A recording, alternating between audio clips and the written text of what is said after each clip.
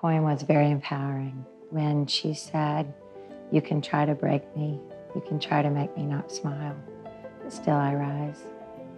That was me, that little girl in high school. So if I had to say that to a little girl right now, you always smile, young lady, because you're worth it and you keep on shining.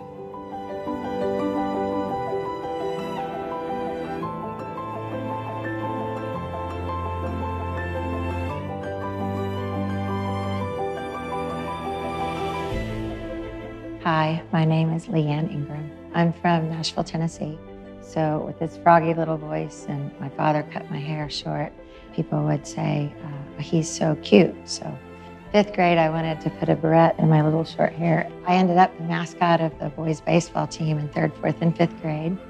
And uh, I would come home from my all parochial Catholic girls' school and take off my little uniform and head to the baseball field across the street. I was their back girl.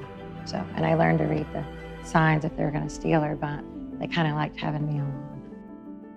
My dad is currently 96, and I like to say 96 and a half years old.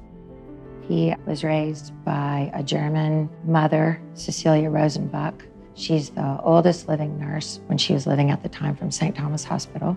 One thing that I loved about my dad, he would take each of us children one month we could pick where we wanted to go for dinner and it was a one-on-one time. And when we would go to dinner he really would take the time to get to know us. My mom was a great great homemaker great mom. She always took me to places to volunteer. I think my parents very much instilled in me just be a good person give back and help volunteer where you can. It doesn't matter how old or how young you are. The one person who inspired me the most so if I had to pick somebody off the top of my head, I would say Annette Eskind. When I met Annette Eskind a few years back, she told me she was a transient from Boston and she went to enroll her children in preschool, kindergarten, and they didn't have that in the metro school system, and she was appalled.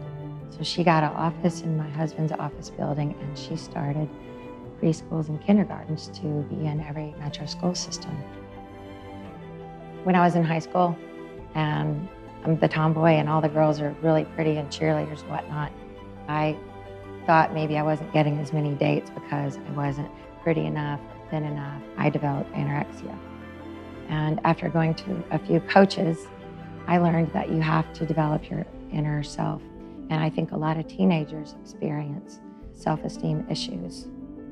I developed a website called coachingforteens.org, and teenagers in their own home, in their own school, could go online and reach a coach on it could be anything. I've got pimples, my parents are fighting. I don't want to ask a girl to prom, I want to ask a gentleman to prom, or vice versa. It's just so many opportunities to not feel cool about yourself.